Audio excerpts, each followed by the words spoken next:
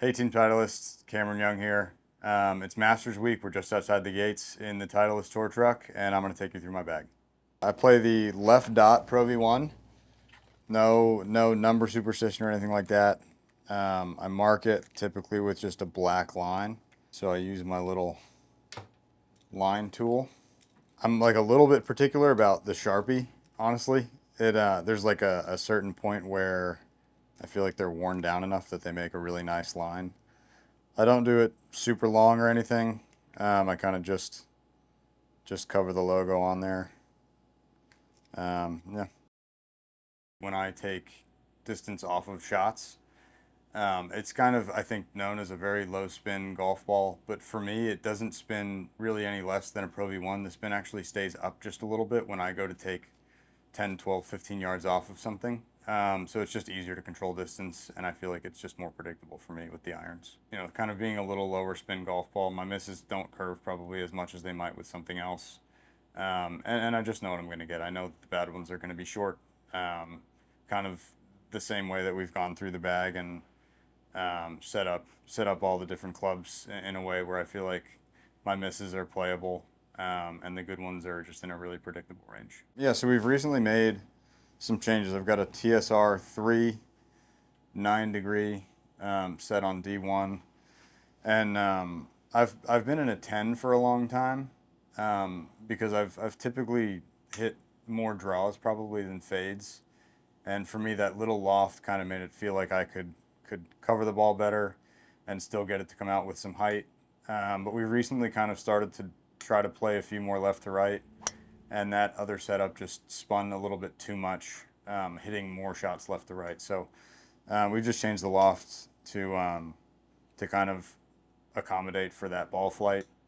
And then we've changed the shaft too. It's a little softer than what I've played for a long time kind of for the same reason. I think I've eh, mechanically trying to hit those fades. I've changed some things, and I'm not quite as fast as I was um, for the last few years. I lost maybe two or three miles an hour ball speed, um, and just I think there's just a little element of kind of softness to this one that that's a little easier for me to do with the feels that I have currently. I'm I'm pretty much aiming at the middle for most of the normal ones, and then I hit the I hit the one teed up about that high where I'm like purposefully trying to hit it thin. But those are really the only two spots. I'm not. I, I would say I really am not ever trying to hit it high on the face. It you'll welcome it sometimes when it's firm. I, I tend to miss like a little bit in the heel and a little low on the face. Um, are kind of my standard miss hits.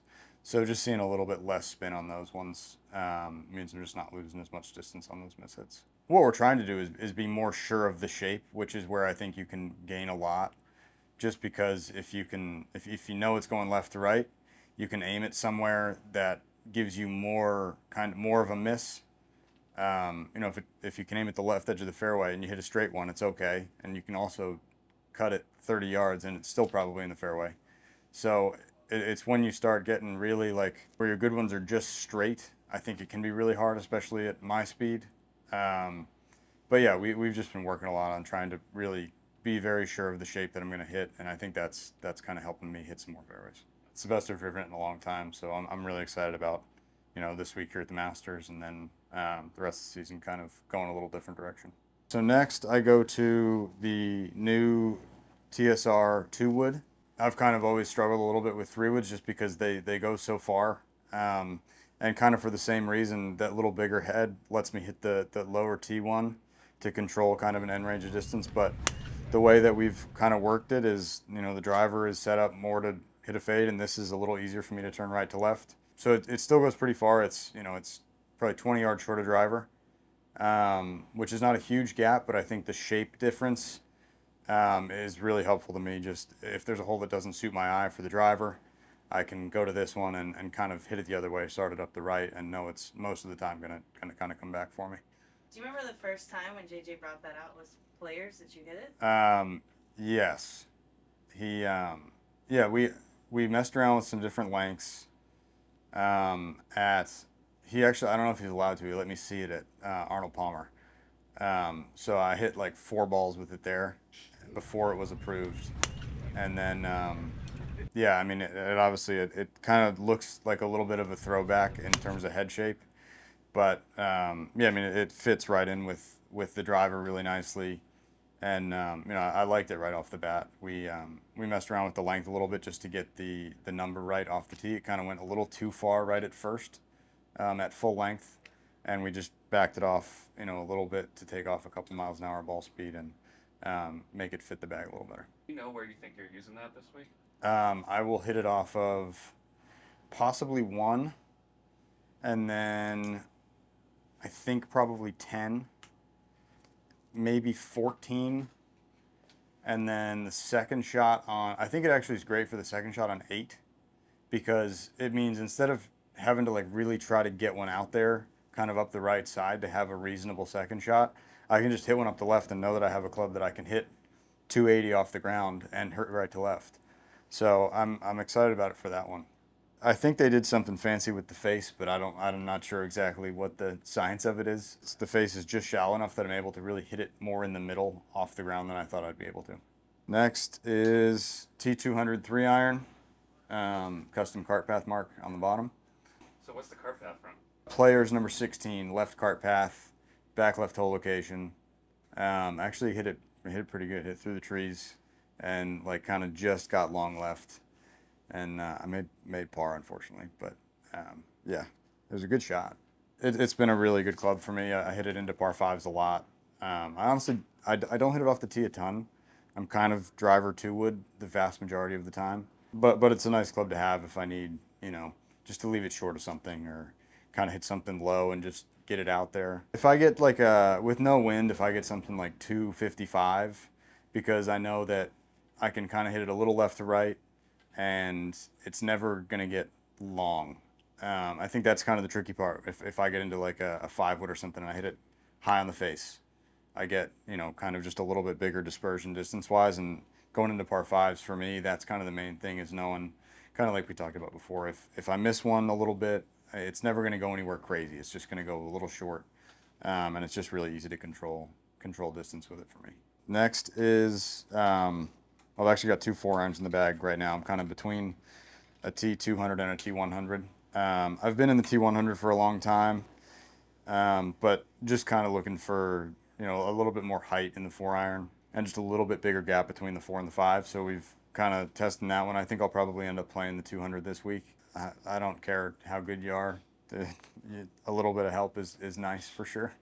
This turf, the ball tends to spin a little bit more. So for me, that, which will uh, spin a little bit less in theory than the T100, um, should should just kind of help keep that gap really even between the five and the three. And um, yeah, I, I, played one for a long time, and I've been I've always been back and forth. But um, yeah, I think I'll, I'll probably go with that one this week. The fun stuff, yeah. So these were um, my custom irons that that they you guys made me. Kind of a, a slight difference to the the standard MBs. RBC Heritage two years ago when I asked, hey, can you just like do the pre-wear on the front by hand? And then a few months after that, JJ came to me and said, hey, if, if, if your clubs did anything different, what would they do? And I said, I don't know, they'd probably go just a little higher. Um, and then RBC Heritage the next year, they made me, they showed me a nine iron that had my pre-wear like made into the club, wasn't done by hand and it was it was all blank. There was like no logo or anything on it. I was like, oh, this is pretty cool. I don't, at that point, I didn't really even know what they were doing. And then it was at the Memorial tournament. He handed me a six iron. That was, um, and the nine iron is very similar to the stock one, but by the time you get to six, they're different. And um, I, the first one I hit, I was like, oh man, that's that's pretty nice. And um, it's got a little wider sole, a little bit of pre-wear in there for me. And really, the goal was just to to launch the um, the six and seven iron specifically just a little bit higher. Um, so the the apex height changed probably five or eight feet, which doesn't sound like much, but when the greens get firm, um, just having a little bit more versatility in, in, those has been great for me, and and that little wider sole helps me too because I'm I'm pretty steep, and to just have that that little pre-wear and a little wider sole to kind of help me get through the turf better has, has been a great change. From there that you know they built the other ones. I think they can work off of those two and kind of go to either side. And um, yeah i mean it's just really cool. It's something that i didn't really expect and um, you know we're super grateful for the team that's made it happen and they've been awesome. 205 for the six iron 190, 92 with seven, just under 180 with eight. Um, so like 78 or nine. Um, nine irons, 163, four. And then the wedges, kind of just under 150 with the pitching wedge. I've got in the, the 52 and the 48, it's actually 53. Um, I've just got a, an F grind. Um, I really pretty much just use those out of the fairway. I'm not chipping really with either of them. Every once in a while, a bunker shot maybe with a 53, but very rarely.